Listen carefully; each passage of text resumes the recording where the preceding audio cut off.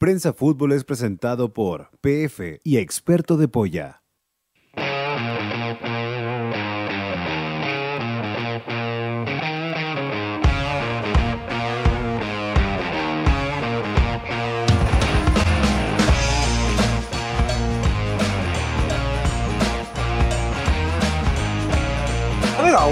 Bienvenidos todos a un nuevo capítulo de Prensa Fútbol, martes 15 de marzo ya y el fútbol chileno sigue convulsionado. No tuvimos partido de la U con Unión Española, ya tenemos nómina de la selección chilena, tenemos un cuanto hay para comentar hoy día en este programa que está espectacular para hablar de fútbol, de todo lo que está sucediendo en el planeta chileno del fútbol, como también en el extranjero, donde vienen las definiciones de la Champions, donde vienen las definiciones de la Sudamericana, donde ya el viernes vamos a tener sorteo de Copa Libertadores, etcétera, etcétera, etcétera. Ya está conectado Rodrigo Bajardo, ¿no? ¿Lo tenemos? Está- estamos conectados ya, Carlos Piratini. ¿Cómo está? Esta, esta conexión viene media petrolera, hoy día está media lenteja, parece defensa de la Universidad Católica, pero ya estamos listos aquí para iniciar este capítulo Gratuito. 255 de Prensa Fútbol en Radio Z, como siempre junto a Niño Nuevo los controles, Carlos Piratini, que después viene ahí medio golpeado después de un fin de semana ahí con la Católica que sumó Oye, tercera te lo derrota canté, consecutiva. weón.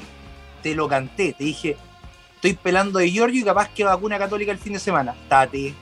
Tate, ¿viste? Tenéis que pelar a los brasi- tenéis que pelar a los chilenos, cosa que le hagan goles a los brasileños en la próxima fecha, que Y podamos se, y ganar bolsa uruguayos. Lautaro nos clavó en, nos clavó en Calama. Tate.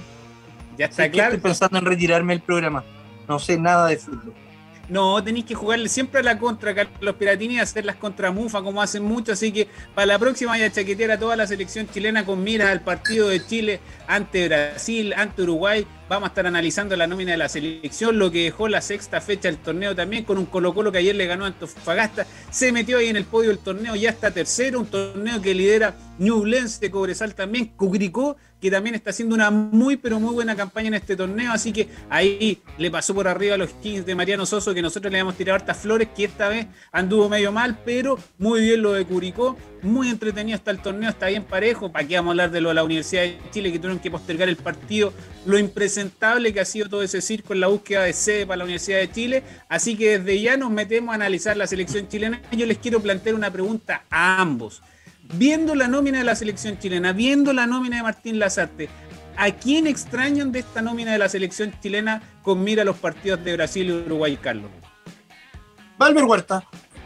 ¿Valver Huerta lo extrañáis en la nómina de la selección chilena? Mira, mira, me parece, me parece un buen nombre para extrañar. Tú, niño nuevo, ¿a quién extrañáis de la nómina de la selección chilena? Viendo esta lista que, que entregó Martín Lazarte, donde hay ausencias como, no sé, Eugenio Mena, Pablo Galdames, Tomás Alarcón, que han sido habituales en esta nómina de la selección chilena, pero que esta vez no fueron considerados. El Keno. ¿El Keno Mena? Sí. Mira, sabes que comparto plenamente contigo y de ahí me gustaría que lo analizáramos que la ausencia del Keno Mena para mí es un poquito inexplicable. Está bien, viene lesionado, se está recuperando, era un problema muscular mucho más complicado, pero dejarlo fuera de la nómina cuando en Racing ya está entrenando, lo cuidaron este fin de semana para que esté el próximo fin de semana en el clásico con Independiente, va a llegar con fútbol, va a llegar con rodaje. ¿Por qué el Keno Mena no? ¿Y por qué sí Brereton? ¿Por qué sí Eric Pulgar en otra fecha? ¿Y por qué ahora no el Keno Mena? Me parece que es un riesgo súper grande lo que está haciendo la selección chilena, pensando que el único especialista que ahora le va a quedar como lateral izquierdo, Carlos, es Gabriel Suazo, porque lo otro de Vegas es bien improvisado y no siempre da los resultados efectivos, los resultados esperados en esa zona. ¿Sabes por qué creo yo que no lo llama? Porque, eh, y por qué sí llamó en su momento a Eric Pulgar y llama a Ben Brereton, porque en estos momentos Pulgar y Brereton no tienen reemplazante en la selección chilena. El Keno Mena eh, te arriesga una lesión como le pasó contra Ecuador. El Keno Mena eh, no está al. eh, viene volviendo y tiene un reemplazante, y porque creo de verdad que por la nómina que, que tiene, que en Brasil va a cruzar el bus. Y se va a jugar la opción de cruzar el bus en Brasil y después vamos a ver lo Al que pasa con. Uruguay. Vamos a ir a, a Claro. empatar nomás. O sea, no, vamos, a mirar lo que, vamos a mirar lo que pase contra Uruguay, entre Uruguay y Perú y vamos a ir a cruzar el bus. Es más, eh, creo que llamó a todo lo que podía llamar, menos al que no mena. Y porque yo creo que se va a jugar la carta porque Suazo le ha rendido. Y porque Suazo cuando entró con, con, con Argentina anduvo bien y en La Paz anduvo bien. Entonces creo que se gana el puesto de titular Gabriel Suazo en la selección, pese a que los hinchas de Colo Colo lo han vilipendiado durante los últimos dos, tres años, y creo que ha tenido un rendimiento bastante parejo como lateral de la selección chilena y, y en Colo Colo también.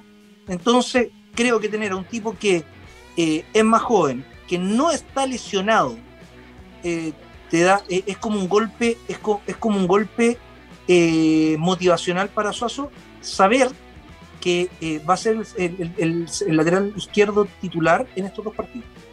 Sí, sí, comparto contigo que Gabriel Suazo está llamado a ser ese hombre y cuando lo ha requerido la selección lo ha hecho de súper buena manera. Lo hizo en el partido con Argentina, lo, cada vez que ha sido requerido, Suazo entra y lo hace de buena manera en esta selección. Y como decís tú, tapando la boca a muchos de los que lo criticamos en su peor momento de Gabriel Suazo, porque el Suazo de ahora, el Suazo que terminó el 2021, es muy distinto al Suazo del 2020, que no, no, era, no, era, no era ni chicha ni limonada, no era ni volante ni lateral. Ahora sí, se nota el trabajo que ha hecho físico también eh, Gabriel Suazo fuera del entrenamiento que hace en Colo Colo y físicamente está marcando muchas diferencias también y le permitió rendir de buena manera ahí como lateral izquierdo. ¿Te parece, Carlos, que vayamos saludando a la gente que desde ya se está comunicando con nosotros con el hashtag Prensa Fútbol? Como siempre, ahí está el Team Radio Z también ahí listo. Dice listo para un nuevo capítulo de Prensa Fútbol.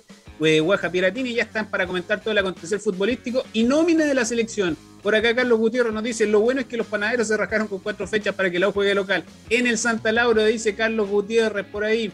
Eh, Guanero nos dice buenas tardes, capos también. Carlos Piratini, Guaja. Vamos Chile con el hashtag prensa fútbol. ¿Te parece, Carlos, que repasemos la nómina completa de la selección chilena para que vayamos analizando puesto por puesto la ausencia, las novedades de esta nómina de Martín Lazarte? Eh, lo que nos sorprendió en relación a la última nómina también. Vamos aquí eh, analizando. Lo primero que sorprende son el llamado de cuatro arqueros. Llama Claudio Bravo, Brian Cortés, Zacarías López, que aquí aparece. para mí esa es la gran encrucijada, el llamado Zacarías López, y Sebastián Pérez, el portero, el zanahoria de la Universidad Católica. Y digo lo de Zacarías López, Carlos, porque la Serena no ha ganado en todo el torneo se ha comido no sé cuántos goles en el torneo. No se ha comido él errores de él, sino que La Serena se ha comido una cantidad de goles en contra importante. Me parece que en esta pasada, por rendimiento, por nivel, Zacarías López no era el cuarto arquero para llamar en esta, en esta nómina.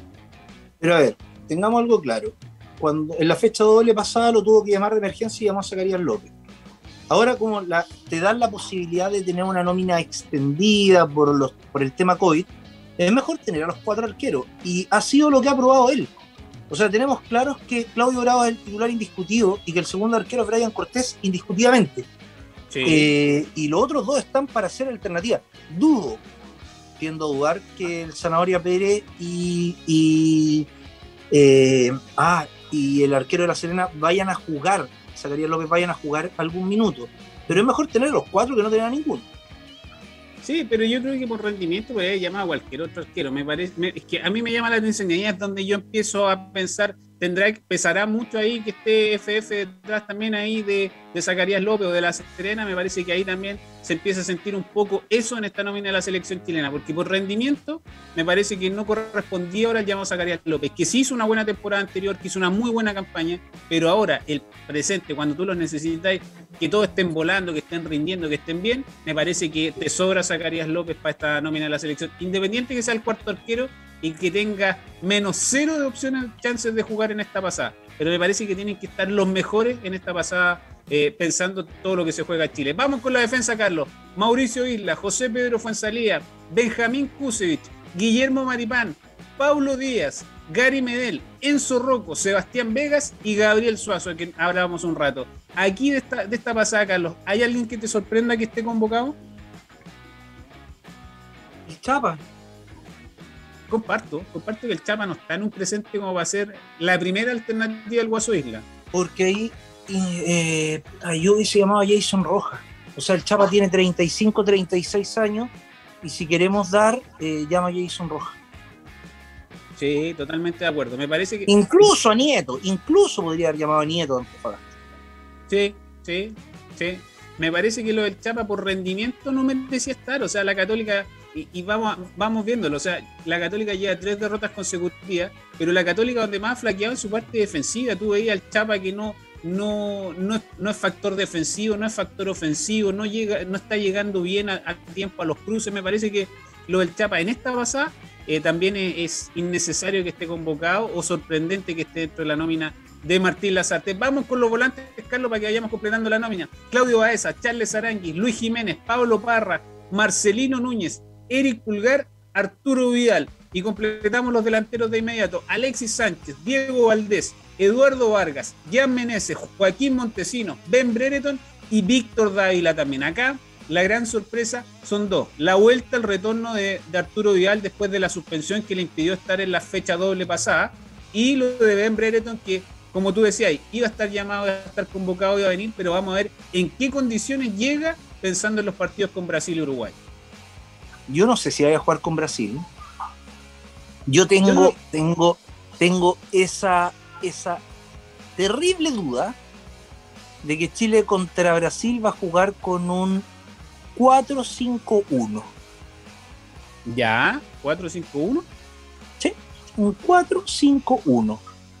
Va a ocupar una línea de 4 que va a ser Isla, va a ser Paulo Díaz, va a ser Gary Medel, Medel sí. va a ser Suazo.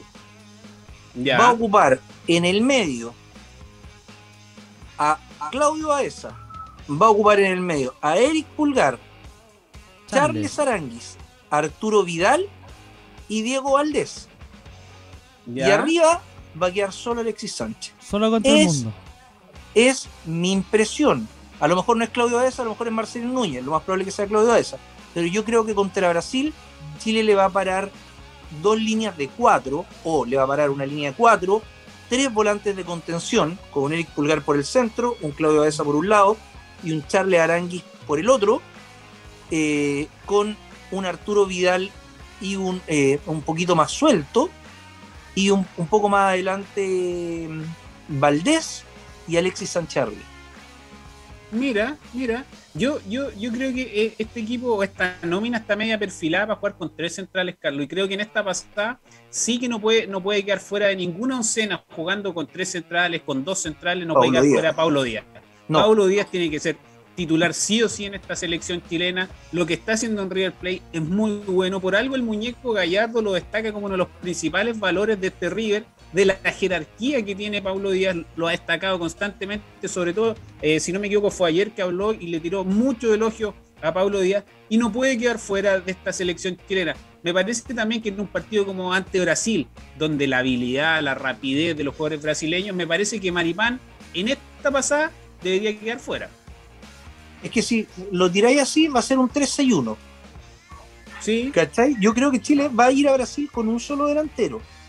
Va a tener un enlace, un Arturo Vidal libre y una línea de 4. 3, 4, 1 libre, un enganche y un delantero.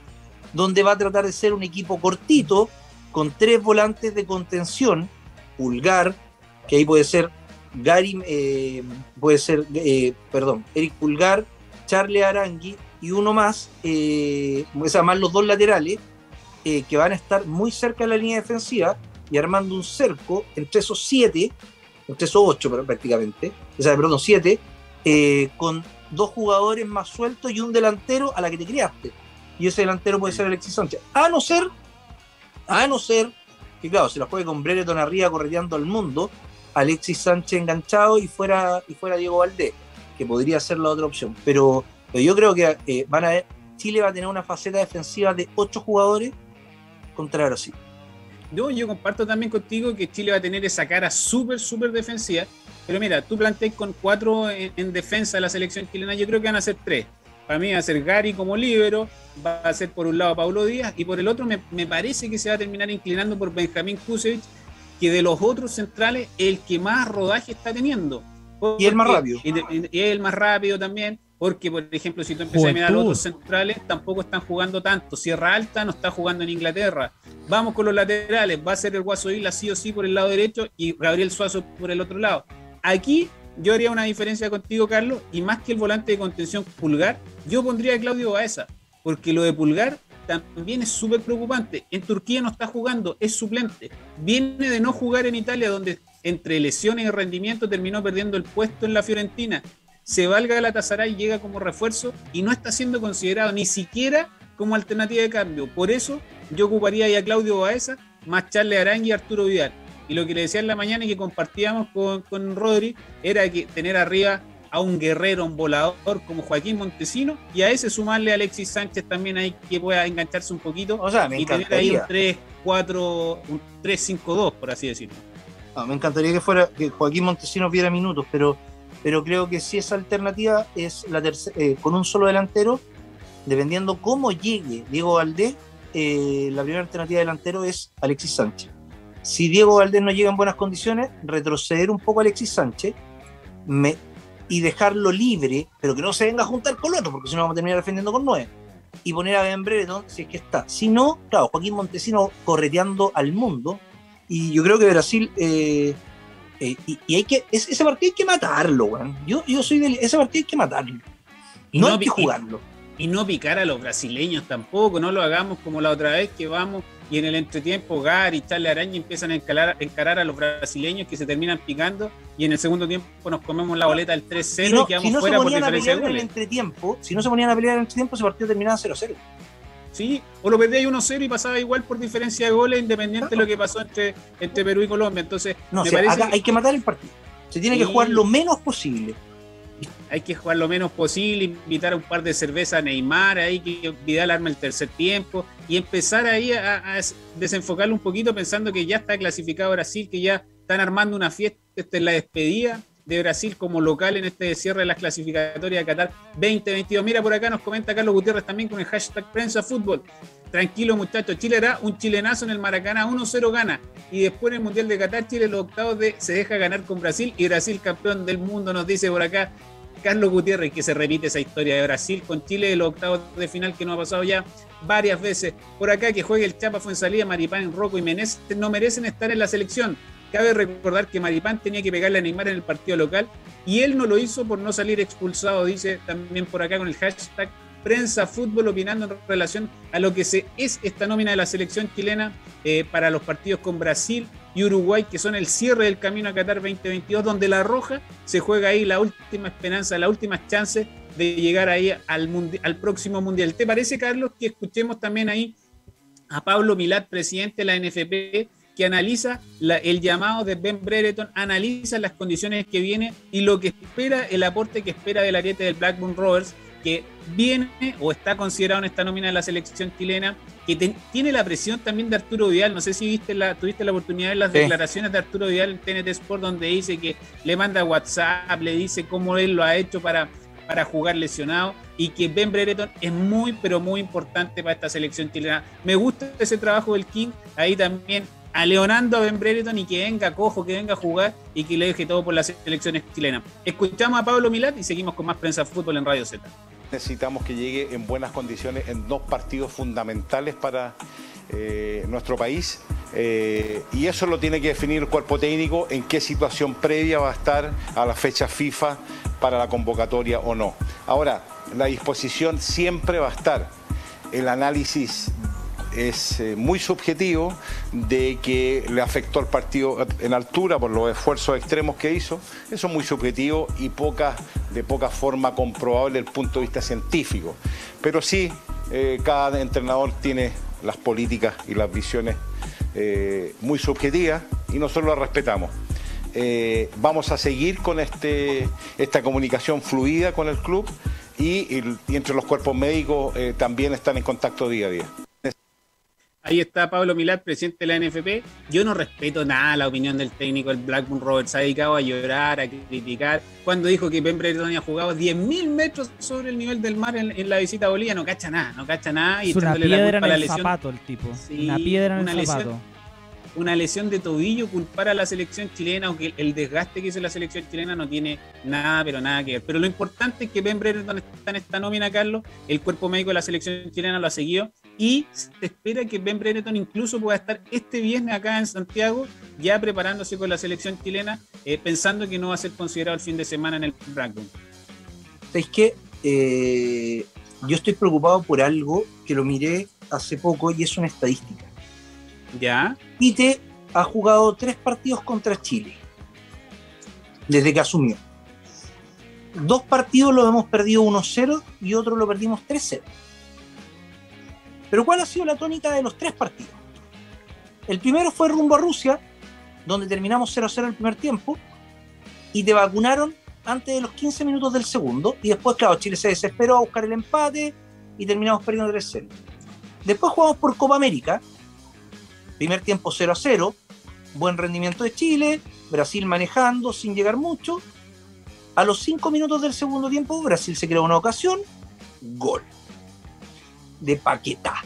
Luego vamos a jugar a Brasil, eh, Copa América, y nos sucede exactamente lo mismo. Terminamos un correcto primer tiempo y en los primeros minutos del segundo tiempo se nos viene la noche. ¿Qué me preocupa de aquello?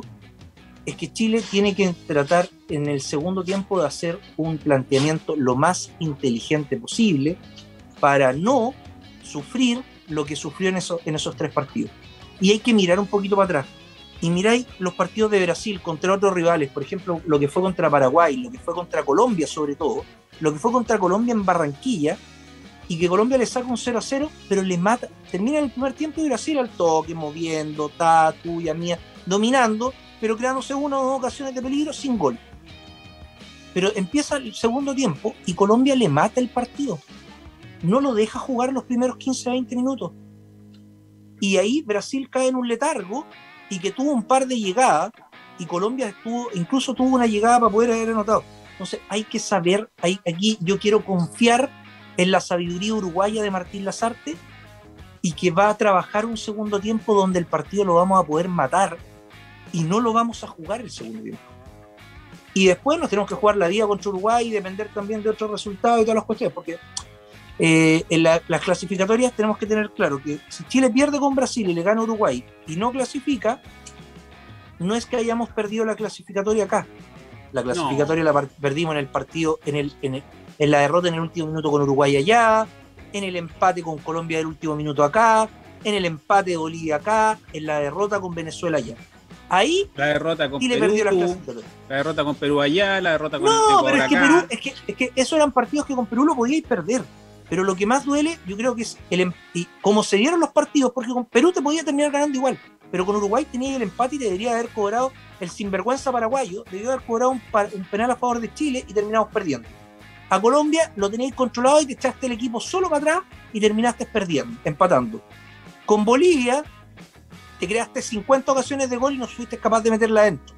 Y te terminaron empatando al final del partido con otro penal del mismo desgraciado paraguayo eh, saludo a la madre de ese árbitro. Eh, eh, sé que tiene un negocio allá en Paraguay. Eh, y, con y con Venezuela jugaste el peor partido de la historia de las clasificatorias. O sea, no jugabais tan mal desde, desde, desde el partido en La Paz con Bolivia en las clasificatorias pasadas. Entonces, ¿qué creo? Que si quedamos eliminados, no le echemos la culpa a estos partidos ni a la derrota con Ecuador, que fue el infortunio. La, la perdimos, bueno, en la primera rueda. Ahí hay, hay, puntos, weón. Eh, perdimos dos con Bolivia, dos con Colombia, uno con Uruguay al menos y uno con Venezuela al menos. Y ahí tenéis seis puntos que en estos momentos nos podría tener con 25 adentro de un mundial de fútbol. Sí, pues, pero no, te quiero escuchar con ese tono así medio, medio pesimista. No, pero no quiero escuchar después a los chaqueteros de siempre y dicen, ah, ahora perdimos la. No, weón, no la perdimos ahora. La perdimos hace un año y medio atrás la clasificatoria. Y lo que están haciendo ahora es tratar de rescatar la clasificatoria. Ya, pero tú eres el que nos mantenía con la ilusión, con la calculadora, que vamos a meternos en el repechaje en la última fecha, que dependemos de Perú. No te quiero escuchar así tan pesimista, Carlos Peratini, porque si no, se nos va abajo aquí la estantería. Por acá nos dicen con el hashtag prensa fútbol por acá, o paso isla laterales, como están jugando, el lateral está pintado para jugar, eh, o paso, nos dicen por acá también con el hashtag prensa, fútbol. A veces que escucha al presidente de la NFP, a Chile siempre le pasa algo negativo. Mejor que el presidente se quede callado, dicen por acá también, en relación a Pablo Milad, que recién lo escuchamos. Eh, Guanero nos dice con el hashtag prensa fútbol, con toda la fe, siempre con Chile, dice también por acá. Bicho Man dice, buenas tardes, he visto varios partidos del fútbol chileno y me sorprende cómo los árbitros son tan malos lo que hacen e insolentes. ¿Qué se creen? Está bien hacerse respetar, pero no tratando mal a los jugadores. Saludos desde Noruega. Vamos, Chile, carajo, nos dice Bicho Man también ahí que está con el hashtag prensa fútbol. Es verdad, lo, del arbitraje que ya lo hemos comentado toda la semana, pero es paupérrimo el nivel del arbitraje, paupérrimo el nivel de cámaras del VAR. ¿Viste ayer cuando analizaban el posible penal que le hacen a Peluca Falcón? La cámara la tenían puesta en Antofagasta y el partido se estaba jugando en Calama. O sea, imposible que, podáis ver una jugada así, una jugada polémica.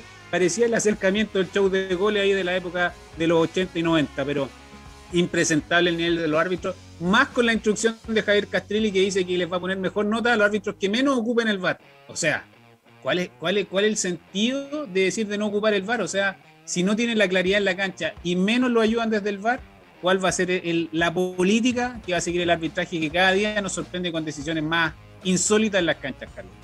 Es que ya lo del VAR ya, ya llegó a. A ver, el arbitraje chileno está muerto, literalmente. Bueno, arbitran muy mal. Muy, pero muy mal, con prepotencia. Bueno, el otro día un árbitro paró un partido, corrió 40 metros para poder mostrar una amarilla a un técnico. Ya, weón, le quitáis ritmo al fútbol.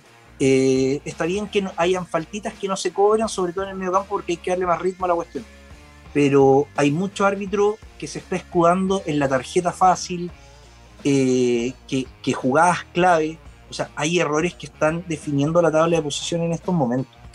Eh, ayer, o sea, mucho expulsado, mucha tarjeta amarilla, poco manejo. ¿Sabes qué? Le falta, le falta, le falta liga, le falta fútbol eh, a los árbitros, mucha, mucho INAF, poco, poco fútbol poca canchita, poco, poco olfato futbolístico. Carlos, para que vayamos cerrando también el tema de la selección chilena, también a mí me llama la atención el llamado Luis Jiménez en esta pasada, me parece que Jiménez tampoco por presente debería haber sido considerado en la selección chilena, pero, pero bueno, si Lazarte lo considera, me parece que es una alternativa también a tener presente. Y lo que nosotros pensamos que Brasil se iba a guardar a su figura, no va con todas las figuras para el partido con Chile. Le cuento, la dentro de la nómina solo hay dos futbolistas del medio local.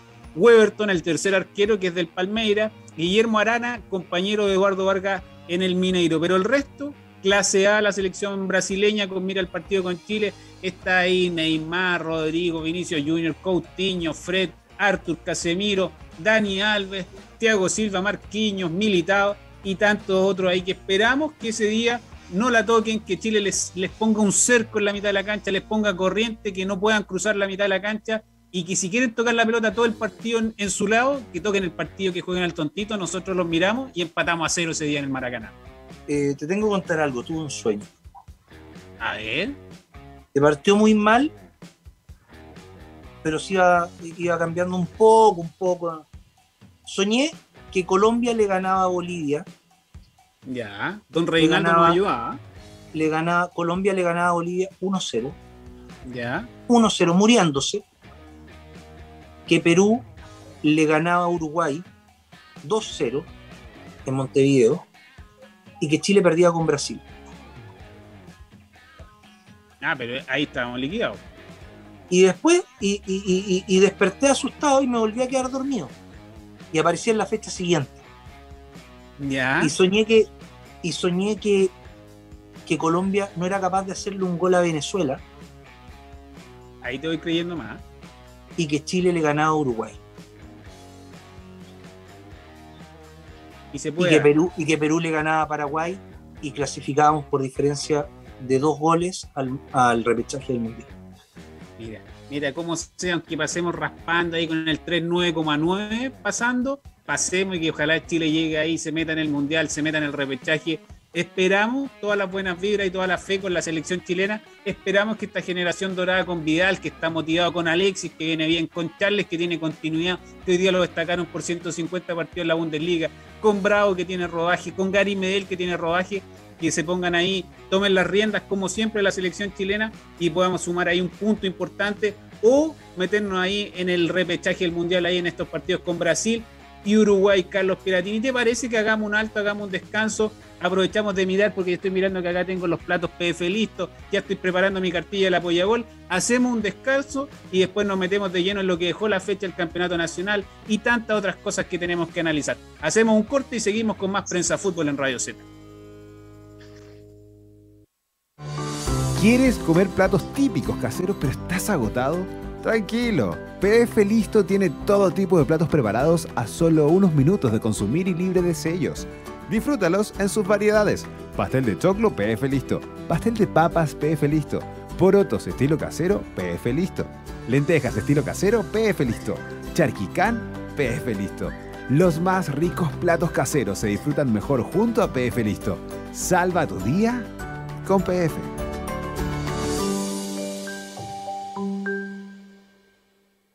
Reckless slave, you lost that love, that love, baby.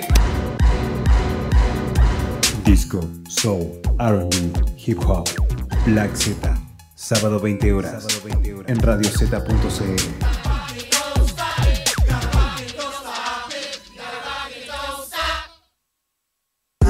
Se dicen muchas cosas de nuestra generación, que son muy individualistas, frágiles o que estamos dormidos. Pero la verdad es que le ponemos cuerpo, color y sabor a todo, porque somos puro carácter. Escudo, hecha con cuerpo, color y sabor. Escudo, hecha con carácter. Carácter es disfrutar con responsabilidad. Producto para mayores de 18 años.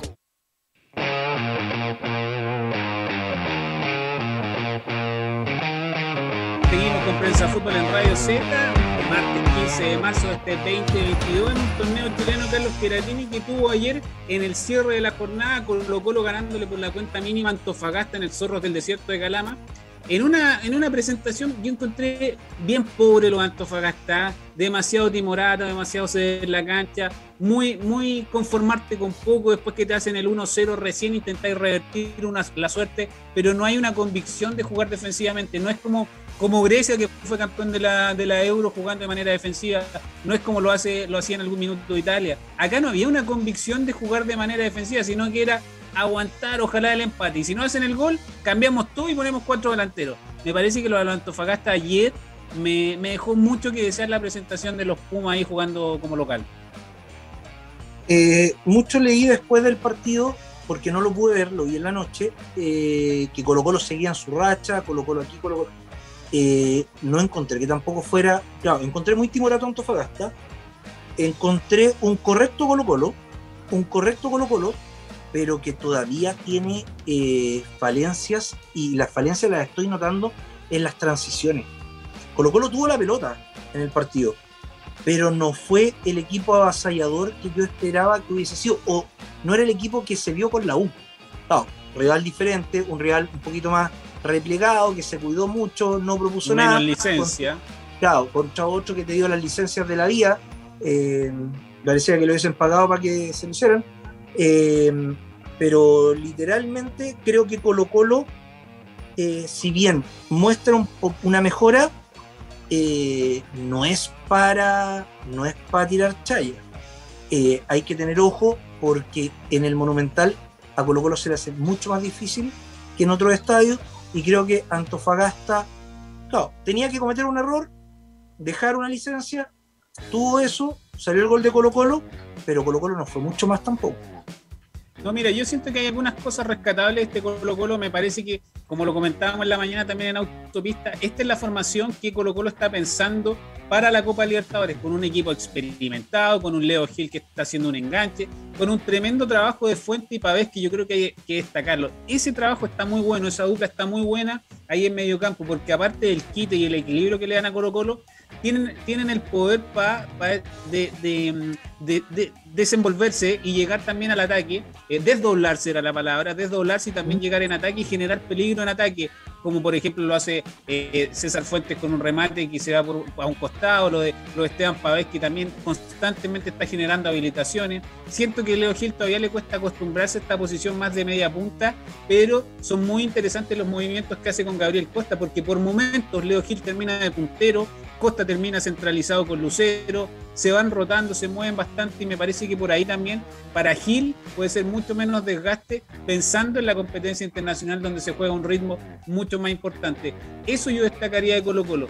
También destaco que se genera muchas ocasiones de gol, pero siento que termina siendo muy predecible lo de Colo Colo. El desborde de Solari, centro. La diagonal, centro. Entonces eso termina siendo muy predecible. Salvo un remate de Gil, el remate de Fuentes que yo decía hace, hace poco, lo de Colo Colo es muy muy predecible a la hora de atacar. Y por eso Antofagasta le bastó cerrarse bien en defensa y Colo Colo no podía romper ahí el 0 a 0. Lucero, que está medio peleado con el gol, independiente de lo bien que se conecta con el resto de sus compañeros, pero a la hora de definir está fallando. Y para Colo Colo se termina muy predecible y todas las ocasiones que generáis las termináis perdiendo. Y si lo lleváis al, al ámbito internacional, que este es el equipo que queréis para la Libertadores, no podéis perder esa, esa cantidad de opciones de gol.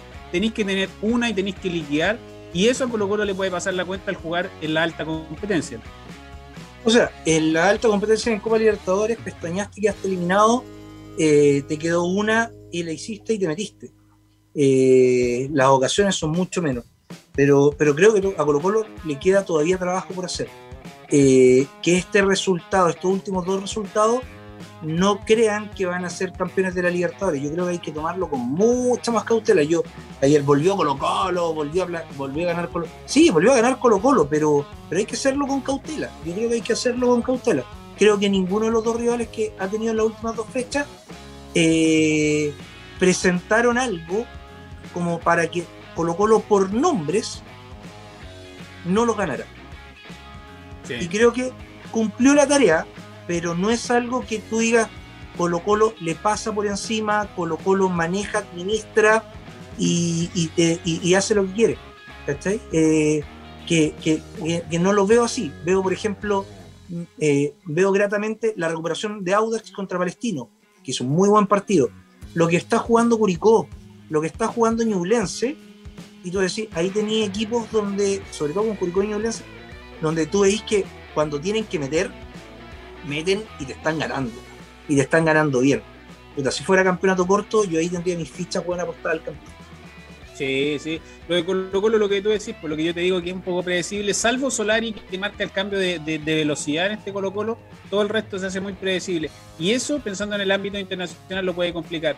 Lo de, lo de Antofagasta, Tolizano, el técnico Tolizano, yo insisto, demasiado, demasiado pobre, demasiado timorato y demasiado lo que salga después de intentar esos cambios cuando ya estaba en desventaja. In, in, inentendible también que tengan cortado a Nacho González, arquero de Antofagasta, por criticar a la dirigencia, por criticar las malas condiciones, que no tenían agua, que no tenían condiciones para entrenar, que estaban malas las canchas, que estaban malos los baños. Por criticar eso, sacaste a tu mejor arquero y que venía siendo una de las figuras. Me parece que también ahí te demuestra el manejo también de los clubes, lo que está pasando en Antofagasta. O sea, el patrón de fondo se enoja porque uno de los futbolistas lo critica y exige condiciones mínimas para poder desarrollar su pega y lo termináis cortando y perdí a uno de tus mejores futbolistas. Me parece que también que es impresentable, Carlos. Fútbol chileno. No. Sí, no. Sí. Lo vimos, lo vimos en Unión con el caso de Benjamín Galdame, lo vemos soterradamente en otros clubes, donde te tenéis que dedicar a jugar, pero no, tenéis, no te podéis dedicar a mejorar. Lo vimos en Everton en su momento cuando Johnny Herrera hizo crítica a las condiciones de entrenamiento que tenía Everton, y pese a que venía llegando ya le habían dicho que, que era primero y último año, entonces, nada, no, no, ¿sabéis qué? Eh, para lo, en el fútbol chileno es más importante meterse los dirigentes plata al bolsillo que mejorar las condiciones del deporte. Y mientras exista el canal del fútbol, que es una teta gigante, gigante, que está dando mucha leche, eh, da lo mismo. Pero es, es, esa leche te tiene que llegar por mérito deportivo. Y es el gran error del fútbol chileno. Te llega la plata sin hacer nada, haciendo lo mínimo. Ojalá no vaya gente al estadio porque tenéis que gastar plata en guardia. Eso es lo que le está pasando también a los dirigentes del fútbol chileno. Y terminamos viendo todas estas malas prácticas y todo lo que hemos venido viendo en el último tiempo en el fútbol nacional. Colo Colo quedó tercero Carlos Piratini con 11 puntos después de seis, de seis fechas jugadas. Lo que tú decías, Ñublense, líder del campeonato, con el tremendo trabajo ahí de Jaime García como técnico, líder del campeonato nacional con 14 unidades, segundo Cobresal con 13 y Curicó cuarto con 10 puntos. También ahí los equipos de provincia ahí están dominando el torneo más allá de la aparición de Colo Colo en el tercer lugar, pero bien lo de Ñublense, bien lo de Cobresal, muy bien lo de Curicó ante O'Higgins y para Colo Colo la próxima fecha un, un, examen difícil porque te toca el palestino de Gustavo Costas que más allá de haber perdido con Audax es un equipo complicado Carlos y que a lo mejor con lo que jugaste Antofagasta no te va a alcanzar para marcar esa diferencia. No, es que yo creo que no y, y, tengo, y tengo esa gran duda. Eh, ¿Contra qué equipos te va a dar para marcar la diferencia y qué va a pasar cuando a fin de mes comiences Copa Libertadores? O sea, a mí me preocupa mucho que Católica no enriele el camino antes de partir Copa Libertadores, porque se puede complicar mucho en el torneo nacional. Eh, y podemos volver a esos campeonatos del 87, 88, donde en las primeras 10 fechas Católica y Colo Colo jugaban Libertadores y estaban penúltimo, último, o en la mitad de la tabla para abajo hasta que quedaban eliminados, y ahí repuntaban y se metían arriba, pero siempre terminaba siendo campeón Cobreloa. No sé si se acuerdan, el, 90 y- el 92 pasó eso, el 87, 88 pasó eso, eh, y ahí tengo mi, mi preocupación, que acá se le pueda meter un Ñublense, un Cobresal, un Curicó, porque no estáis dando en el ancho en, el, en los planteles. Y a Católica ya le conocieron la forma de jugar, y a Colo Colo también está siendo predecible como ataca. Todos tienen súper claro que eh, eh, la, mayor, la mayor fuente ofensiva de Colo Colo es buscar el- el mano a mano de Solari por un extremo. Sí, totalmente de acuerdo. Mira, ya que te metiste en la católica, ¿te parece que escuchemos al presidente de la República, Gabriel Boric, que ya tiene su diagnóstico esta Universidad Católica, que viene a caer con Everton como local en San Carlos de Apoquindo, pero ya también tiene el diagnóstico de lo que está pasando con Católica y lo que muchos compartimos, que la fórmula de la Católica ya está siendo conocida por los rivales. A mí me pasa también que yo siento que con Paulucci tú ya sabés los cambios que va a hacer, que va a entrar Buenanote, que va a entrar este, que no va a salir, que no va a salir San Pedri, que sabéis cómo, cómo, cómo, cómo lo va a parar la Católica, entonces demasiado, demasiado pre- pre- pre- pre- el, el- el presidente de la República, Gabriel Boric, está sufriendo ahí con esta Católica después de esta derrota con Everton. Escuchemos al presidente y después seguimos, nos metemos de lleno en el análisis de la Universidad Católica. Con Everton fue un desastre, más encima con una expulsión muy cuestionable a ¿Pero lo Everton. pudo ver? Mira, fue, tuve mi primera jornada de tra- o sea, estaba solo trabajando acá, eh, leyendo el diario y por supuesto que me, me di el tiempo. Y mira, yo espero, me han preguntado a qué estás dispuesto a renunciar. Yo espero no renunciar a ver los partidos de la Cato y me gustaría poder ir al estadio eh, en, en algún momento. Pero bueno, eso lo veremos más adelante y ojalá que Paulucci... Eh, eh, Saque técnico, atención. no, pero quién soy yo para darle consejo. Pero, pero, pero si ya nos pillaron, si ya, nos, sí, sí, si ya nos, si ya nos pillaron la, el, el diseño, yo creo que hay que innovar un poquito y bueno, el reemplazo a Álvaro Huerta ha sido muy difícil. De tres centrales hay que revaluar. Esa estrategia política también, cuando les pillen el diseño hay que innovar. hay que innovar, exactamente. Siempre. Ahí está el presidente Gabriel Boric diciendo que a Católica le encontraron la mano y hay que innovar, Carlos Piratini. ¿A ti te parece que la Católica tiene que innovar y que la partida de Valver Huerta también ha sido tan complicada de, de reemplazar en este tetracampeón del fútbol chileno? Porque nos vemos que la última línea de Católica termina flaqueando, no tiene la solidez de antes y tiene que variar, tiene que cambiar el esquema o hacer algo distinto Paulucci y seguimos viendo semana a semana lo mismo en cada partido de la Católica. A ver, hay rendimientos individuales que están bajos, principalmente. Yo creo que la, pareja de centrales titular tiene que ser Ampuero con Paz. Me da la impresión que eso va a ser. Eh, siento que lo mejorcito que tiene Católica es por el sector izquierdo con Parot.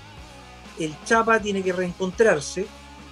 Eh, no entiendo cómo Marcelino Núñez está fuera del equipo y juega y juega eh, y, está jugando Felipe Gutiérrez. y Juan Leiva te, desordena, te está desordenando más que ordenando el equipo. Ahí la falta de web se está notando. Y se está notando, y se está notando harto. Yo pensé que Assad podía ser la alternativa ahí, eh, pero le gustó la rayuela corta y crearse Liceo Salazar. Entonces, eh, esas dos mezclas no fueron positivas y sabemos lo que terminó. Eh, y creo creo que podría, podría Católica alterar un poquito también el esquema en algunos momentos, pero de partida, y, e incorporar un jugador más en el medio campo y cerrar, y cerrar, y cerrar a, o, o sacar a Valencia y meter otro puntero para darle mayor velocidad por la, por la orilla. Eh, se transforma teniendo a Tapia con el Chapa Fuensalía en el sector derecho, también todos saben que Católica va a tratar de llegar por el sector derecho. Entonces, es cosa de mirar un poquito los partidos para irte dando cuenta que eh, eh, son, son resultados obvios las formas de ataque y las fórmulas que tiene, que tiene Católica. Ya no tenía el pelotazo largo que tenía Albert Huerta eh, y, tampoco ese desdoblamiento que tenía en algunos momentos de, algunos futbolistas. Entonces, Católica es un equipo ordenadamente chato. Se transformó en un equipo ordenadamente chato que perdió variante. Y ahí, claro, hay que trabajar para buscar nuevas fórmulas pero yo temo que, que no llegue a Copa Libertadores con esas nuevas fórmulas. Es lo que a mí me, la sensación que me da esta católica que de repente Paulucci trata de, de, de agradar o de, o de responderle más a, a ciertos, a ciertos futbolistas que tienen más historia en la católica. En este caso, no sé, Felipe Gutiérrez, a lo largo del torneo, cuando le ha tocado jugar, no ha respondido o no justifica el ser titular. Me parece que Marcelino Núñez, independiente de que a lo mejor no está brillando como la temporada anterior, no es para tenerlo de suplente en esta Universidad Católica. Me parece también que, por ejemplo, San Pedro es intocable. Para él también ahora Valencia es intocable. El cambio siempre va a ser Gonzalo Tapia. Clemente Montes lo mete cuando ya el partido está, está muerto y, tiene que entrar ahí a arreglárselas como pueda. Eh, Sabéis que va a entrar Bonanote. No sé, me parece que, que esta Católica, ahí falta que Paulucci realmente tome las riendas, que, que meta mano en este equipo. Nosotros lo dijimos, es muy distinto llegar y, eh, y asumir eh, sobre la marcha con un equipo armado, con un equipo bien conformado, como venía la Católica en los últimos cuatro años. Distinto es tomar las riendas desde el inicio. Y eso le ha costado a Cristian Paulucci en esta temporada. Nosotros lo dijimos hace un rato, más que el plantel de Católica, lo que puede terminar perjudicando a Católica es que se maree en algún minuto Paulucci. Y yo siento que en algunas decisiones futbolísticas se está mareando Paulucci en esta Universidad Católica. No le está sacando el rendimiento que quiera a todos sus futbolistas tenía una Orellana que termina siendo un conflicto, tenía a un Assad que era refuerzo y que no lo podía ocupar porque, como decís tú, le gustó la noche. Paz recién viene a jugar, pero en su primer partido dejó ahí algunas dudas. Lo de Galani me parece que no es refuerzo para la Católica. Entonces empezáis a mirar y Católica tampoco hizo incorporaciones que te permitan empujar un rendimiento de los que ya estaban. Entonces, ahí tiene que notarse la mano de Paulucci y siento que eso es lo que está quedando en deuda. A ver, eh, creo que también hay, sí, Católica ha perdido los tres partidos, creo que no tenemos que ser tan, tan, tan injusto porque empezando con Palestino creo que fue un partido parejo que perfectamente no lo, no lo, no lo debió perder quizás. Creo que hay ciertos cobros, ciertas situaciones del partido que te terminan cargando un poquito la balanza en un momento. Contra Cobresal hay un error, hay un error garrafal eh, de Astauroaga que te empareja el partido y permite que Cobresal eh, pero era un partido que Católica lo tenía controlado ganando 1-0. Y contra Everton eh, falló mucho arriba Católica. Falló mucho. Era un partido en control. Más con la expulsión de Cueva, que después de ver los dos partidos de Copa Libertadores de Cueva, eh, creo que eh, hay, hay cachados jugadores que son, son muy buenos, pero el equipo depende de tanto de ese jugador bueno que te achata el equipo Sí, sí. me pasa un poco eso con Cueva y con Everton. Eh, y la salida de Cuevas como que hizo que se soltaran algunos jugadores y termina, y termina la llegada clara, clara, clara del segundo tiempo, termina siendo un, muy buen gol. Pero, pero Católica fue... eh, yo creo que el, problema de Católica principalmente pasa por, por, por tres cuartos de cancha hacia arriba. Católica tiene un mediocampo sólido. Defensivamente está dejando mucho que desear porque todavía no encuentra la dupla de centrales que requiere y arriba no la están metiendo adentro. Eh, pero, eh, y el medio campo, si, si ponía, ponía a, a- a- a Nacho Saavedra, ponía a Marcelino Núñez y ponía, y ponía a Juan Leiva, creo que el equipo funciona. El problema son los dos centrales y es que no está encontrando el gol arriba. Sí, pero si tu principal valor, en este caso Marcelino Núñez, lo tenía en la banca, lo estáis, lo estáis desmotivando, le estáis sacando, le estáis sacando rodaje futbolístico y me parece que era tu principal carta para esta temporada después de lo que pasó con Nacho Savera, que también se fue diluyendo en el tiempo, que la temporada pasada tuvo un bajón, después se recuperó. Me parece que este era el año también para apostar con Marcelino como líder en esta Universidad Católica. Y Bueno, me ahí está la parece que la- pregunta. y ahí son las decisiones de Paulucci que yo siento que termináis haciendo trastabillar a tu mejor hombre ahí en la, en la Universidad Católica. Vamos leyendo también, Carlos, a la gente que participa con nosotros con el hashtag Prensa Fútbol. Ahí están todos participando en relación a lo de la Universidad Católica. Ah, y te quiero contar, porque acá me mandan una información también, está haciendo conferencia de prensa en este momento eh, José María Buljubasic, el Tati, y dice, el tema de Yamil Assad es grave. Se lo comentaba en una reunión que tuvimos con él. Tuvimos una conversación con el Comité de Ética hablaremos con el directorio y el cuerpo técnico. Entre mañana o pasado se informará la decisión con Assad. Ahí está el Tati Burjubasic enfrentando este, este incidente de, de Yamil Assad, que también a mí me, me llama un poquito la atención. Está bien estas defensas corporativas de los futbolistas, pero también tenéis que salir a criticar. O sea, no puede ser que un futbolista salga y maneje en estado de ebriedad. No puede ser que, que no tenga el cuidado siendo figuras públicas. Tienen que también ayudar y dar el ejemplo. Me parece también estas defensas corporativas de los futbolistas que de repente erran el camino y hay que criticar, hay que condenar este tipo de situaciones. Lo hizo, lo hizo Paulucci el fin de semana y lo hizo ahora. A diferencia de lo que pasó en su momento con Pavés en Colo Colo, que como que trataron de esconderlo. eh, yo creo que Yamil Assad ya tiene hora para hacerse el PCR, para poder Sí. salir del país.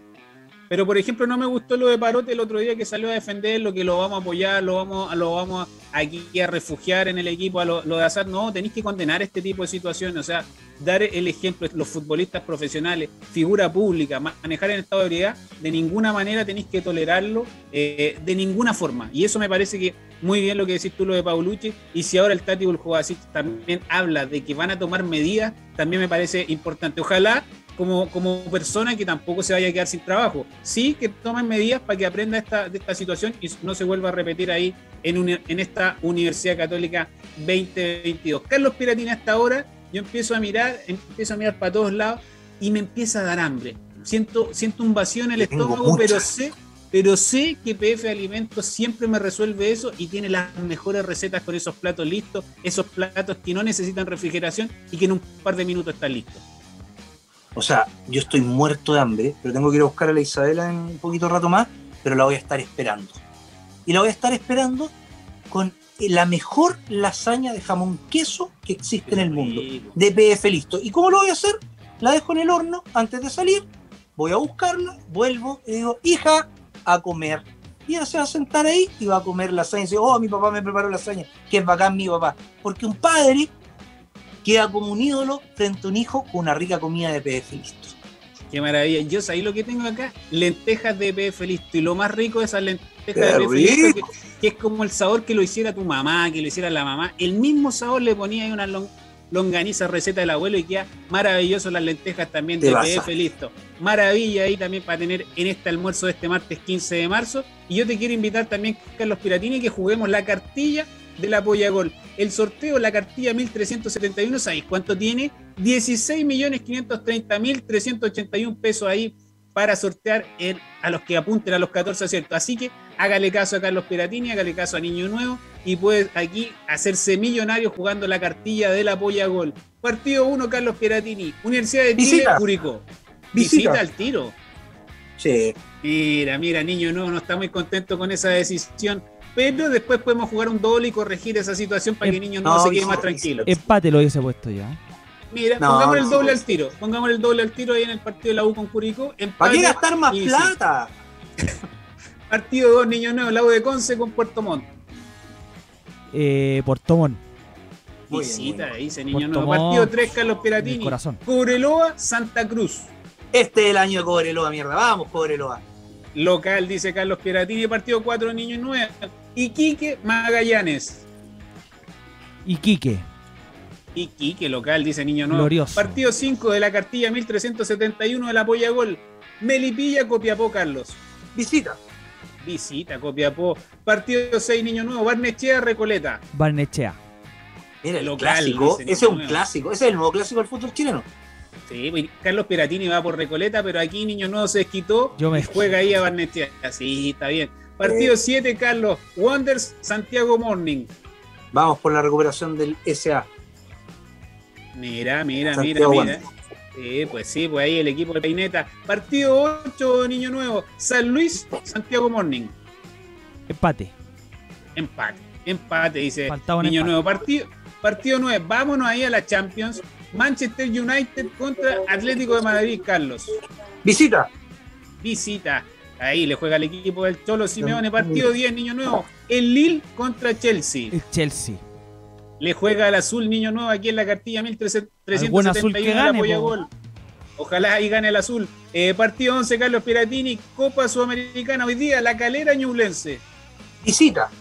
Visita Ñublense, mira. Eh, partido 12 de Niño Nuevo, también de la Sudamericana. Antofagasta, Unión Española. La Unión. La Unión visita al vuelta, equipo de Jorge. Segovia. Sí, pues partido 13, Carlos Piratini. Nos vamos ahí también a la Europa League. Leverkusen de Charles Aranguis contra el Atalanta. También lo da vuelta, local. Local, dice ¿Lo da Carlos vuelta? Piratini. Mira, me gusta. Y el, y el último partido de la cartilla 1371 de la Pollagol, Niño Nuevo acá. El Frankfurt contra el Real Betis de Pellegrini, Claudio Bravo. Con toda la fe al Betis. Con toda la Con- fe, oye. Con toda la fe, porque la semana en pasada penales, perdieron de local. penales lo pasó. Sí, pero sí. estoy seguro que lo da vuelta el ingeniero. Eh, 1-0, Mira. 1-0. Hágale caso a Carlos Piratini, hágale caso a Niño 9 y puede ganar 16.530.381 pesos jugando la cartilla del Apoyagol que se cierra a las 14 horas de hoy. Así que tiene tiempo ahí para ir a la agencia de apoyo y jugar también en experto.cl y hace clic en la Apoyagol y se puede hacer millonario gracias a los consejos de Niño Nuevo y Carlos Piratini. Carlos, te quiero contar la agenda que tenemos para hoy también en el fútbol para que todos se programen, sepan qué es lo que tienen que ver, dónde tienen que seguir el fútbol, porque tenemos fútbol para todos los gustos. Mira, un cuarto para cinco juega nuestro querido Blackburn, de nuestro querido técnico también, y de Ben Brereton, aunque no va a estar Ben, ante el Derby County, ahí también buscando el ascenso, acercarse ahí el ascenso a la Premier League. A las 5 también por Champions, Ajax Benfica, Manchester United, Atlético de Madrid. 21 a 30, La Calera Ñublense. Mañana, Audax visita a Estudiantes de La Plata también a las No, 19 Everton, Everton, Everton, Everton, Everton. Yo que puse, mira, lo puse aquí con Audax.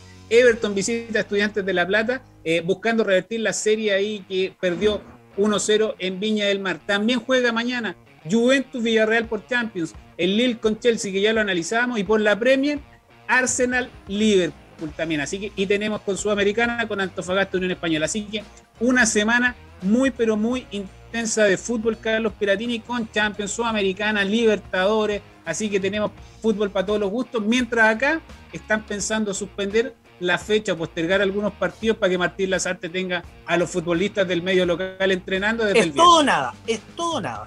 Es todo nada. Muere. ¿Queréis que suspendan la fecha? No, no, es todo nada. Con la selección es todo nada. Así que a darle con todo nomás. Bueno, no, no escatimemos esfuerzos por, por ver si llegamos al repechaje o, directo al mundial.